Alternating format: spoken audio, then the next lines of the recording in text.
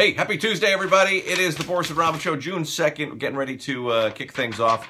This is the pre-show show where we run down what we're going to be talking about on today's show. And you might notice behind me, uh, R2-D2.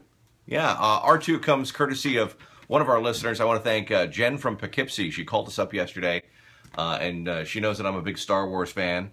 So she said she had a little present. We sent meat sandwich down to her house to pick it up. and now we have a uh, life-sized R2-D2 in our office. So thank you. Thank you, Jen. That was very nice. Uh, so we've got a lot to talk about this morning. Of course, uh, the big Caitlyn Jenner cover of uh, Vanity Fair uh, released. We'll discuss that a little bit. Also, um, we got news. The last video rental store in the Hudson Valley is closing this month. Uh, so a lot of people are kind of sad it's the end of an era. I'm actually kind of surprised that it was still open this. This long. People were still renting videos. Um, but uh, we'll talk a little bit about some of the stores uh, here in the Hudson Valley that you just can't believe are still in operation. Like the uh, the TV repair store. There's, there's a few of them here.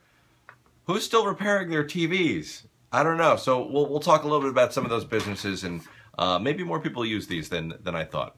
Uh, also, uh, Newburgh was featured on Russian TV. We've got this video up at WPDH.com, and it's it's kind of gone viral here in the Hudson Valley. Um, a Russian news crew. Uh, this is like a uh, English-speaking Russian channel out of Moscow. Uh, they came to uh, Newburgh to do a story about the decline of the American city.